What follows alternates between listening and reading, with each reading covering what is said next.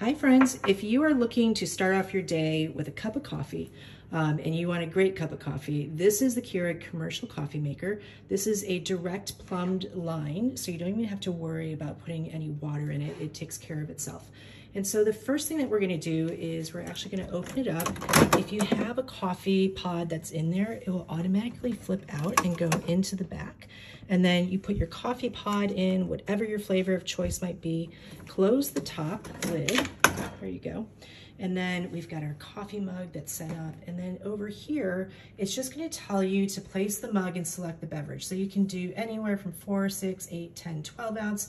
You can make it stronger and then you simply press brew and you're gonna hear it start. So it's a little loud, but actually in my opinion, I think that's just a wake up call to say like, hey, your coffee's brewing it's gonna be ready pretty soon.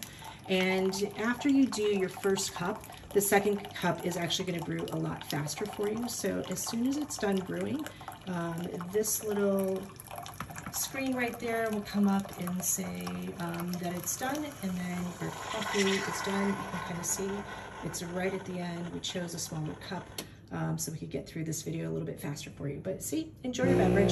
So it's just saying hi, enjoy. Um, then I don't know, it's making a fun sound afterwards just to say it's all done. I think you're gonna love this.